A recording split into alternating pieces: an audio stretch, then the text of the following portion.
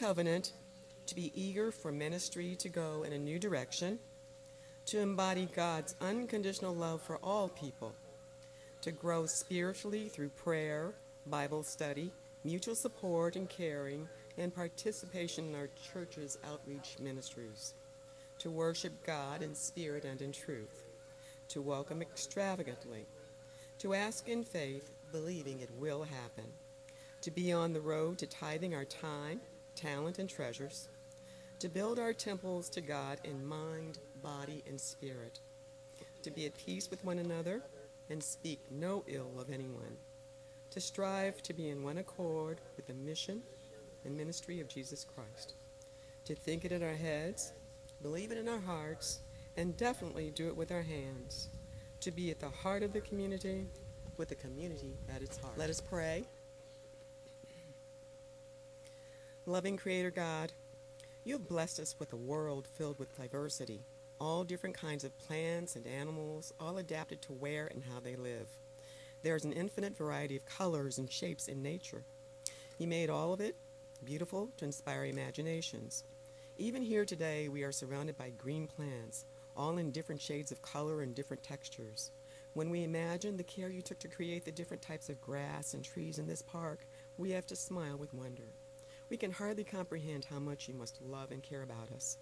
Like the rest of creation, people come in different colors and shapes, different sizes, each one perfectly designed for a purpose according to your flawless plan. And each of us is beautiful, especially when your light shines forth from us. This is the gathering of the people of God. Each one of us is unique, but we all share a common purpose to worship you in spirit and in truth. Be with us this day, O God, for there will never be another day just like this one. We know you hear the words we say, but you also know the things we do not say. You know the secret hurts, the anger and resentments we hold inside. You know what hides behind our smiles. Reach inside our souls today, God, and change us from the inside out. Give us rest in the pasture and the green pastures you have prepared just for us. And hear us now as we pray the prayer that Jesus taught. Our Father, who art in heaven, hallowed be thy name. Thy kingdom come, thy will be done, on earth as it is in heaven. Give us this day our daily bread, and forgive us our debts as we forgive our debtors. And lead us not into temptation, but deliver us from evil. For thine is the kingdom, the power, and the glory forever. Amen. Please turn to page 6 in your bulletin for the Apostles' Creed.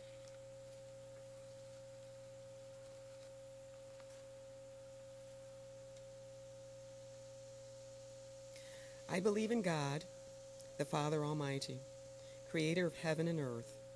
I believe in Jesus Christ, his only Son, our Lord. He was conceived by the power of the Holy Spirit and born of the Virgin Mary. He suffered under Pontius Pilate, was crucified, died, and was buried. He descended to the dead. On the third day he rose again. He ascended into heaven and is seated at the right hand of the Father. He will come again to judge the living and the dead.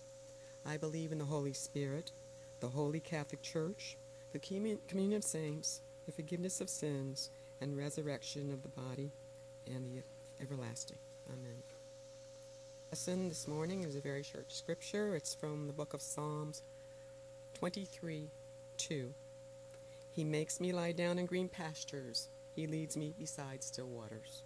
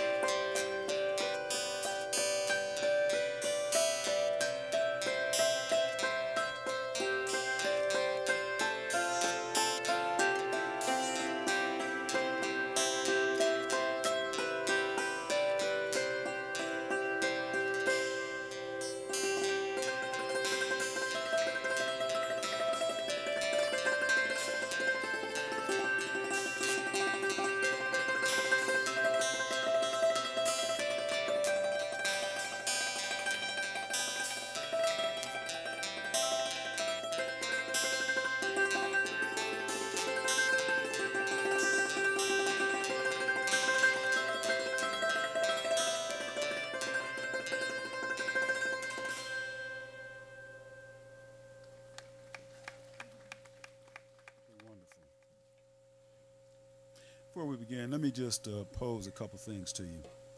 Uh, I'm real serious about this one. And I'm not wishing this on anyone. I want you to make sure you're clear on this. I'm not wishing this on anyone.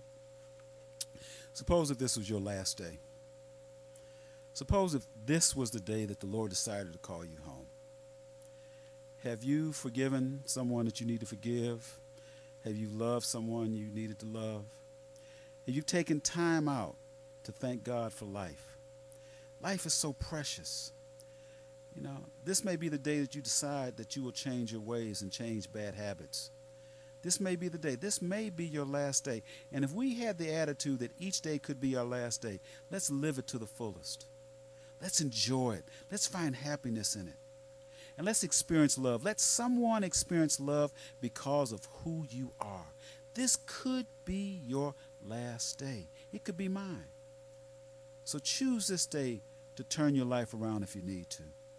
Choose this day to be able to let someone know that God exists and that love is the strongest force that there is. Choose this day. Amen. Let us pray. Dear God, it was a blessing to be able to come together as a church family, to be able to experience the joy of knowing how wonderful it is to worship. To worship you outside is so easy to see your glory. And we're just so thankful for allowing us to experience the joy of one another. So help us, dear God, to open up our ears and our minds to hear from you. Remove any obstacle that there may be that prevents this. For this day is a sacred day and this is a sacred moment. And let your word be manifest. And this is our prayer. Amen.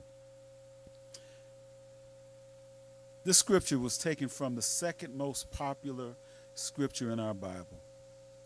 It's Psalm 23. The psalmist David was examining his life, and he reflected back on his life as a shepherd boy. For you realize that he was in tune with nature. Shepherds are in tune with nature, they have to be. You and I must be able to take a moment out. Think back upon your relationship with God when you were a child. Think back upon those things that God was able to do in your life, and you were able to witness firsthand as a child to see that God has been with you your entire life. God has not failed us, nor has God forsaken us. Just enjoy the relationship. Think back upon your relationship as a child with God. And so David was sitting down, and don't forget that the vast majority of the Psalms were what? Songs songs that were sung, joyous songs, sometimes sad songs. It was music. And this was the conveying the message. This was music. And this song had so much power. It just continues to go on and on. And so many people identify with this. So, Lord, help us to understand the importance of seeing ourselves in this psalm. So, from that second verse, it speaks about green pastures. So let's be clear with one another. There are some people who believe that the most important green is money green, that their whole lives evolve around that money, that money is the dominant factor in life. You've got to have money. You got to do this money, money, money, money. And then when it's time to give back to God, we say, oh, no, God, I can't give you any money. I got to keep that money for myself. You know, I want to tell you right now, this is not a, a indication to anybody to feel bad about anything. You give what you believe God would have you to give, but I'd hate to be that person that sees God face to face, knowing that you could have given more to God and you didn't.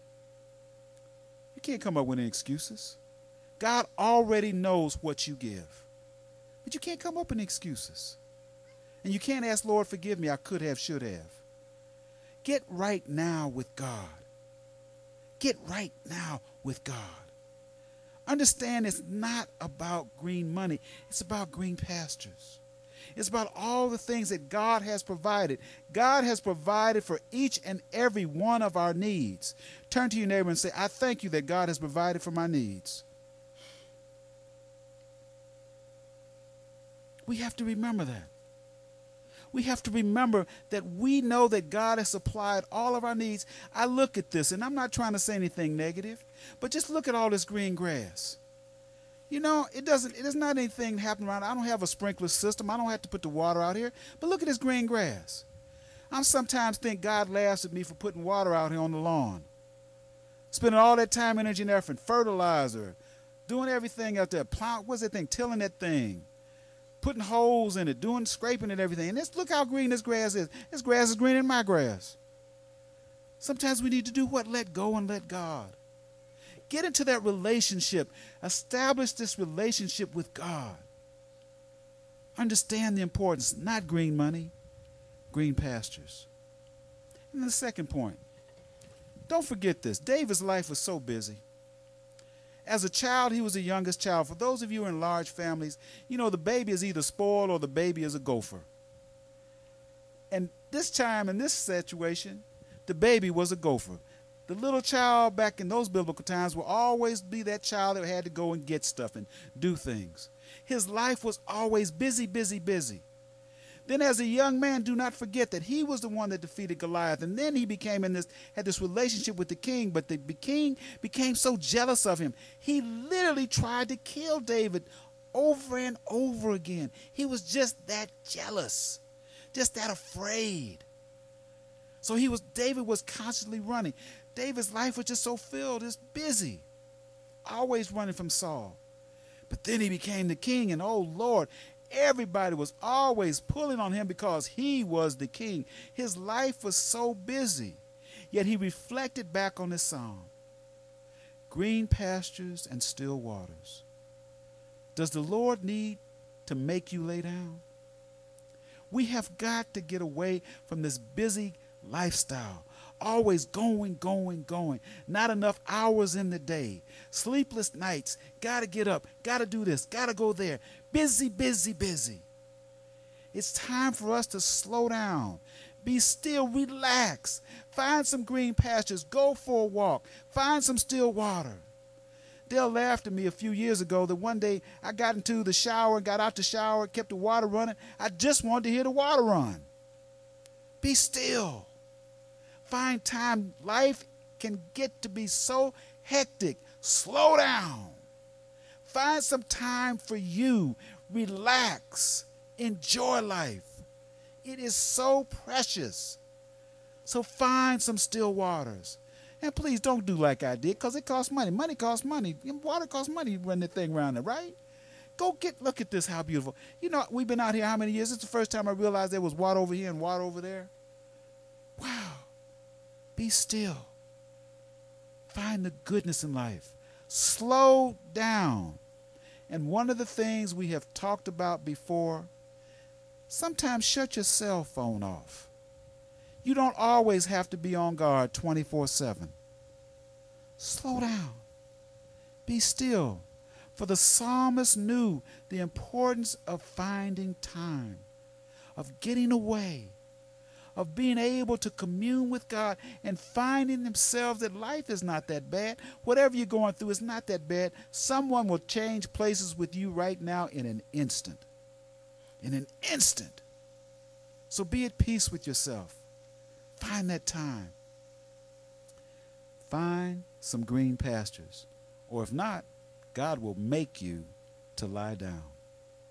And you know when God makes you to lie down, 90% of the time, it's because of health. Find time to be healthy. Find time for yourself. And the last one. Ah, the grass is greener.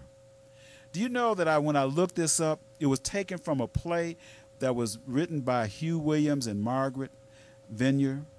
And there was a, some of you may have even seen this movie. It was a 19, wow, the trains are coming right now. Get right with God, your train is coming. Amen. What is that? Is that is that really a train? Oh, okay. It's a pretty close train too. Amen. 1960s, there was a movie starring Cary Grant and Deborah Kerr and Robert Mitchum, and it was called what? Green Pastures. It was about two people going through financial difficulty, and it was a comedy, but it escalated into a comedy of love and jealousy because it was always looking better on the other side Always the grass is greener on the other side. The neighbor's lawn looks better. The neighbor's house looks better. Oh, I wish I had the money that this my neighbor had. Oh, I wish this, I wish that, I wish that. Always thinking that the grass is greener on the other side. Lord, I used to think as a child, boy, it sure would be nice. And I'm going to go back to the Cleveland Indians. A half of you wouldn't know this now. I'm going to go back. Boy, I sure wish I was Rocky Colavito. Rock was the man. That man could hit a ball like anybody else. And I was physically heartbroken when they traded him. They traded him for this guy named Harvey somebody, Kunis, I can't remember. He had lost their mind. I was so bad. They took my hero. They snatched him from Cleveland. The grass looked greener because Rock said, hey, no problem. I'll go over there in Detroit and keep hitting home runs. The grass is not always greener. Paul, the Apostle Paul, told us, and hear these words being content wherever I find myself. For I know what it is to need and I know what it is to have plenty. I have learned the secret of being content in any and every situation that I'm in. Being content, being grateful for what you have, finding that chance right now to be grateful for what you have. The grass is not greener. You really don't know what's going on with that other person or whatever is happening out here. You've got to find yourself and got to find yourself in a place where there's peace. Find yourself in a place where you have gratitude. Repeat after me I am thankful for what I have. Dear God, I am grateful for what I have. Be grateful for what you have. Be content with what you have. Find time to find still waters. Find time to find green pastures, and always have an attitude of gratitude. It could be worse. For the grass is not greener next door. You've got the greenest grass there is. And Dale and I were joking one day. The first home we had, and I'm very thankful, we were joking about this. The first home we had, it took me 15 minutes to cut the grass. And that's because it took me 10 minutes to start the lawnmower. But let me tell you what, the grass is always greener. No, it isn't. You've got the greenest grass there is, even if you live in an apartment. Be content with where you find yourself. Be happy.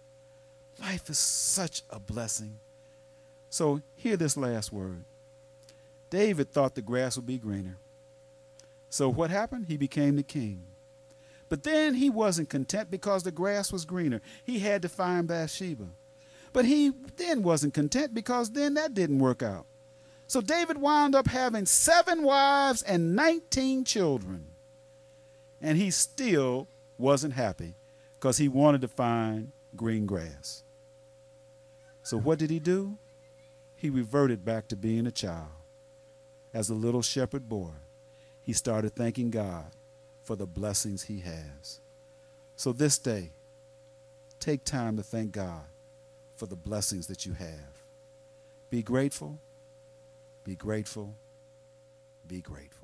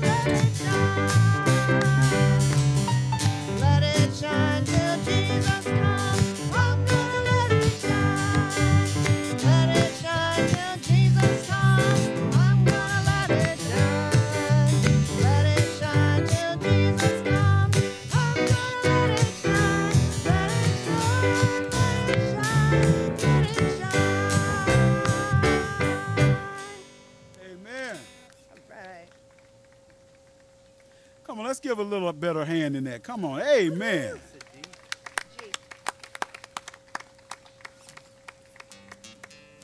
Do me a favor now, if you will take time, if you can, just try to hold someone's hand. If it's if it's easy to do, please hold someone's hand.